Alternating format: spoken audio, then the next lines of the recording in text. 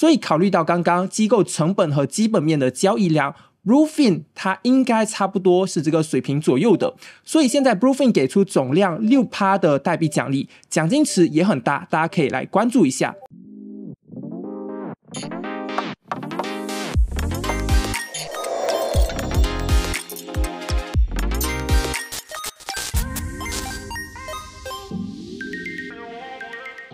Hello，大家好，欢迎回到 Talk 圈的节目，我是 C Hash，祝各位大年初一快乐，新的一年一定要事业顺遂，幸福美满。很久没有介绍交易挖矿的好去处了。如果你想要低成本拿到估值上亿美金的明星项目低价筹码，那么这期视频就会非常的适合你。和无限期埋伏空头不一样的是，今天介绍的这个交易挖矿，大概多两个月的时间，我们就可以看到成果了。留给我们的时间不算特别多，有至少两百万美金的奖金，还可以给我们来瓜分。如果你喜欢探索币圈最前沿的行业资讯，记得订阅我们的频道。或你觉得大年初一还在上视频，值得鼓励，也欢迎点个赞，感谢各位。今天要介绍的是税公链当中的合约交易所龙头老大。老观众应该知道，我在之前就不断强调，明星公链大概率会开始搞事情，尤其是税。所以之前我也介绍过了，税的生态，公链的代币也有很不错的涨幅。当时候视频结尾我就说要去体验这个 b o o f i n 的平台，今天算是给各位交功课了。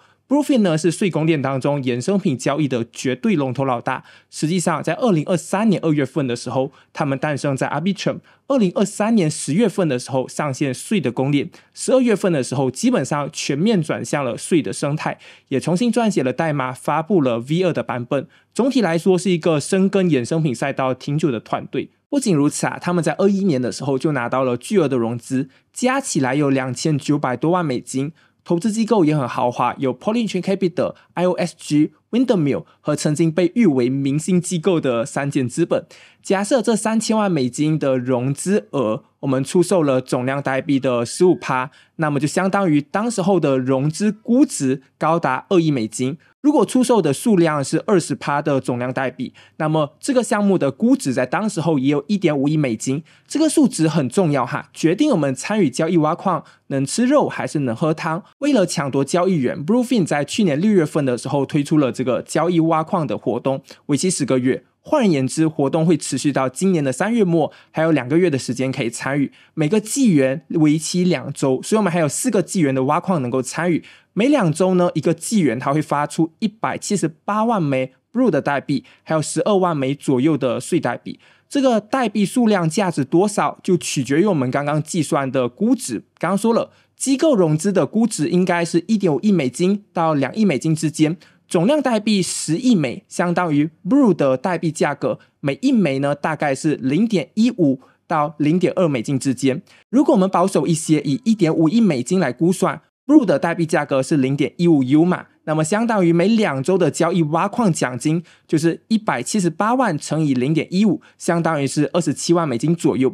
再加上十二万美左右的税代币，现在税的价格大概是一点七五左右，相当于税的奖金也有接近二十万。所以每两周呢，Bluefin 的交易员就可以瓜分总额超过四十七万美金的奖金。我们还有两个月，也就是四个纪元。我们二十七万乘以四，相当于我们现在的交易挖矿还有一百八十八万美金的奖金可以来给我们瓜分。虽然说现在是 Bluefin 的交易挖矿末期，但考虑到税代币最近涨势很猛，以及 Bluefin 本身的设计，就是在后期的时候给多一些代币的奖励，前期的时候瓜分的奖励没有这么多，所以后期的人数增加，但是奖励金实际上也变得更加多了。应该还是有利可图的。具体的交易挖矿公式其实很简单，就是这个 RI 指的是某个交易员能够拿到的奖金数额，等同于总奖金池乘以我们在这个平台支付的费用比例。如果你支付的交易费用占了这两周内的百分之五十，那你就可以拿走总奖金的一半。简单理解就是交易的数量越多，获得的奖励也越大。但是呢，大家也不用太担心，因为 Bluefin 本身的开仓费用比其他的竞争对手相对低了一些。低蛮多的啦，其实 Maker 的交易费用是零点零一趴，而 Decker 呢是零点零四五趴，基本上跟中心化的交易所费率差不太多。在此基础上呢，因为有税代币的奖励，所以进一步的覆盖了交易费用的支出。所以这一次交易挖矿的成本实际上并不高。如果你们想要再降低成本，也欢迎使用 Token 视频下方的邀请码，可以折扣十趴的费用，以及再增加你们交易挖矿十趴的奖励，可以用更低的成本拿到更多的奖励金。使用我们链接的朋友们，我们会在后台随机发一些小红包来到大家的地址，当做新年的祝福，祝各位龙年行大运。这里有一点要提醒大家，官方明确表示会严厉核查刷量交易的钱包。也就是说呢，如果你一个地址开多，另外一个地址开空来对冲，如果被他们发现到，会取消交易挖矿的奖励。除非你有巧妙的方式可以避免，否则尽可能是真实用户会比较好。如果你恰好有交易的需求，那么可以尝试使用 Bluefin 这个项目，因为它估值上亿美金。低价拿到筹码应该会非常的香。如果你有朋友还在用中心化的交易所，记得把这期视频分享给他们。我知道大家在好奇些什么，Bluefin 上亿美金的估值会不会有点高？他们的基本面目前如何？现在来看呢，他们近二十四小时的交易量有将近一亿美金这么多。大概和之前介绍过的 Gans G Trade 是一个差不多的水平。我觉得这两个项目有一些共通点，可以粗略的横向对比。这个 G Trade 目前也是有交易挖矿的活动，分发千万美金的 ALB 代币做奖励。之前出过视频介绍，个人也是在上面有做交易，奖金算是很丰厚。所以这两个项目目前都有交易挖矿，相对都属于比较真实用户的交易挖矿，交易量差不太多。G Trade 呢是一点二亿美金左右。两个平台的数据差不到百分之二十，基本类似。Against 的全流通市值也是在一点八亿美金左右，所以考虑到刚刚机构成本和基本面的交易量，Bluefin 它应该差不多是这个水平左右的。所以现在 Bluefin 给出总量六趴的代币奖励，奖金池也很大，大家可以来关注一下。聊了这么多，我们接下来看看具体的使用方法。如果你要交易挖矿。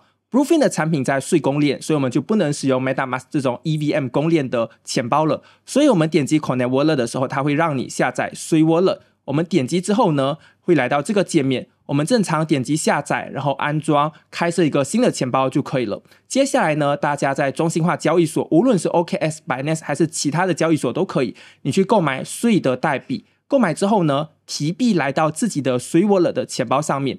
紧接着呢，来到 Citus。这个平台，这个平台是税公链当中最大的去中心化交易所。在这里呢，你可以把你的税代币换成 USDC 的代币。注意哈，税上面呢有很多 USDC 的代币，这里可以看到有非常多。而 Bluefin 支持的抵押品是这个 USDC from Ethereum 这个代币，所以我们这里要把税代币换成这一款 USDC，这里就换你想要兑换的数量就可以了。当然，如果你的资产是在以太坊之上，你也可以用 Wormhole 的 Porton Bridge 把以太坊上的 USDC 跨链来到税的公链。但如果你跨的是 Arbitrum 当中的 USDC，那么你还需要额外来到刚刚提到的 Citus 的平台，把 Arbitrum 的 USDC 呢换成这一款 From Ethereum 的 USDC，这是两个不同的代币，需要换成这一个才可以在 b o o f i n 的平台当中使用。因为 Wormhole 实际上已经快到了前几天的时候。如果之前出税视频的时候，你们有用 Porton Bridge 这个跨链桥的话，记得之后关注 Wormhole 的空投信息，应该可以拿到一些空投。如果你现在才要埋伏 Wormhole 的空投，应该算比较迟了。所以个人觉得，你可以直接用中心化交易所提币税来到自己的钱包，紧接着在 Cit 上面兑换成 USDC，这会比较方便。完成到这个步骤，就基本上大功告成了。我们拥有 USDC 之后，就可以点击 Deposit 存入 Bluefin 的平台。紧接着，大家可以打开它 One Click Trading 的服务，开启之后，基本上就跟你在中心化交易所的体验没有太多的区别了。这也是 Bluefin 团队强大的地方，他们对产品的打磨，个人觉得做的还挺不错的。在二三月份的时候，他们也会落实无钱包登录，我们可以直接用谷歌账号就可以直接在 Bluefin 上面交易了。之后也会研发个人比较喜欢的全仓保证金的模式，体验会提高很多。他们的合约也经过了好几家相对靠谱的机构审核，没有发现太大的问题。另外有一个重点要和各位说。